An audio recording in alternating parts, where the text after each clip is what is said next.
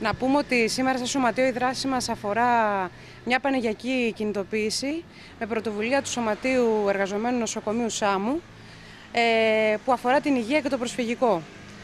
Ε, επίσης συμμετέχει αρκετά νησιά του Βορείου Αιγαίου, ε, συμπεριλαμβανομένου της Λίμνου, της Λέσβου, της Καλύμνου, ε, της Ικαρίας που έχουν πάρει και άλλα νησιά εντωμεταξύ έχουν πάρει αποφάσεις που δεν αφορά μόνο συλλόγους νοσοκομείων, αφορά και την ε, Ένωση Νοσοκομιακών Γιατρών.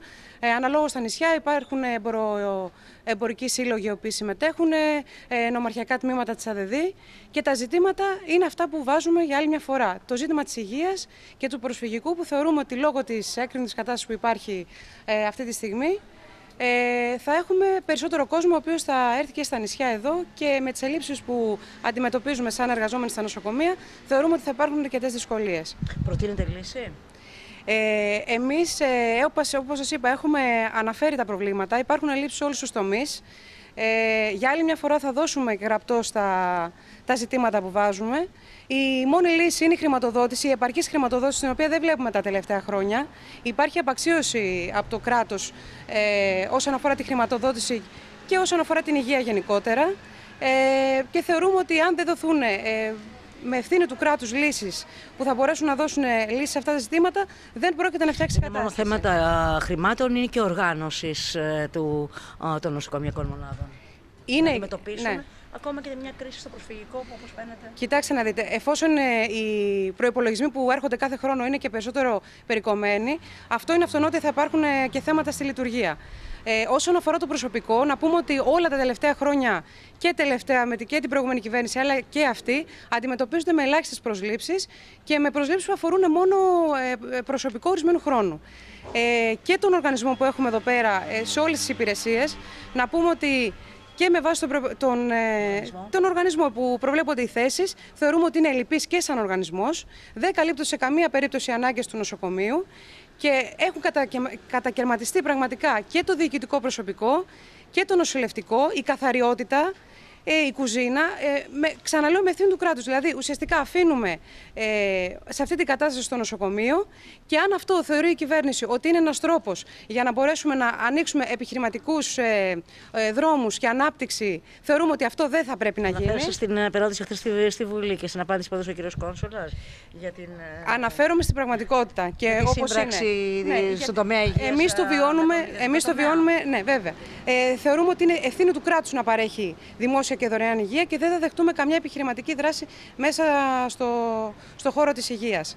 Ε, θα είμαστε εδώ. Ε, σε πρώτη φάση θα δώσουμε αυτό το υπόμνημα στο διοικητή. Ε, επίσης θα ζητήσουμε και από φορείς και συνάντηση με τον Δήμαρχο, αλλά και θα καλέσουμε όπως πάντα τον κόσμο που θεωρούμε ότι έχουμε στο πλευρό μας ε, και το εργατικό κέντρο όλα τα σωματεία και θα πιέσουμε με κάποια κινητοποίηση να φέρουν άμεσα προσωπικό.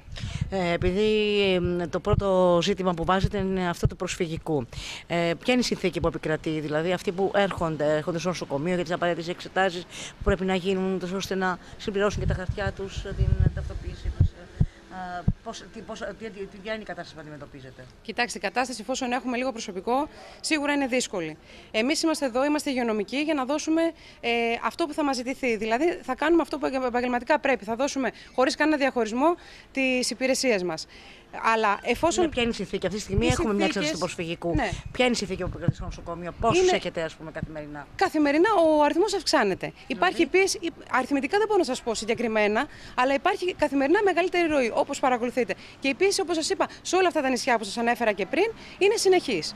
Θεωρούμε ότι αυτοί οι άνθρωποι θα πρέπει να φεύγουν από τις ε, από τις νησιωτικές περιοχές, να προωθούνται μέσα στην υπηρετική Ελλάδα, να τους δίνονται χαρτιά για τον τελικό του προορισμό που επιθυμούν να πάνε.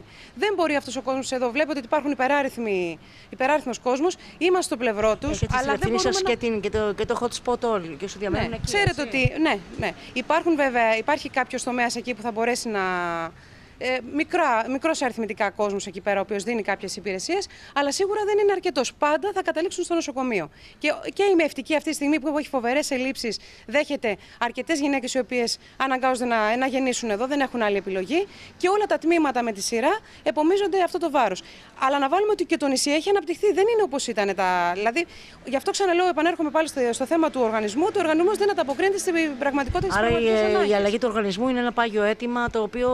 Η αλλαγή του οργανισμού έχει ξαναγίνει σχετικά πρόσφατα, αλλά θεωρούμε ότι Χωρίς δεν. όμως να ανταποκρίνεται δεν στην πραγματικότητα. στη- στην πραγματικότητα. Ακριβώς αυτό. Δεν είναι αυτό. Ε, καταλαβαίνουμε ότι σαν άνθρωποι και σαν επαγγελματίες την κατάσταση του προσφυγικού, βλέπετε αυτή τη στιγμή τι συμβαίνει. Ε, έχει γίνει η χώρα μας αυτή τη στιγμή και συμμετέχει με κάποιο τρόπο με τις βάσεις τις οποίες προσφέρουμε κι εμείς. Εμείς όμως είμαστε εδώ. Απ' τη μια να φωνάξουμε ότι δεν μπορούμε ούτε να, να αντέξουμε αυτή τη στιγμή την κατάσταση σαν ε, ε, νοσοκομείο, αλλά και ότι πρέπει και αυτοί οι άνθρωποι να βοηθηθούν και να πάνε στον τελικό χώρο προ, προορισμού τους.